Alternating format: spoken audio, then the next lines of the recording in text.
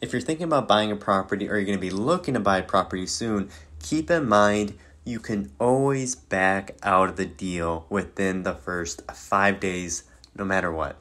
I see a lot of buyers, or at least first time buyers, that whenever you mention the word offer or whenever you're looking at properties and they, they're starting to think about making an offer, I see them get all tense and I see them get a little bit worrisome uh, because they're just nervous about making an offer. Here's the thing to remember an offer it does not tie you to anything okay asking someone to, to get engaged doesn't mean you're getting married just yet it just means you have the intention to buy it, but within the first five days, you can back out for whatever reason. Now, I don't advocate for making offers on properties you expect to back out for a small thing. Make offers to properties that you're seriously interested in. I mean, you're not going to propose to somebody if you're kind of on the fence or you're you're not sure if this person's the one. You want to make serious offers on properties that you really do like and you intentionally expect to buy.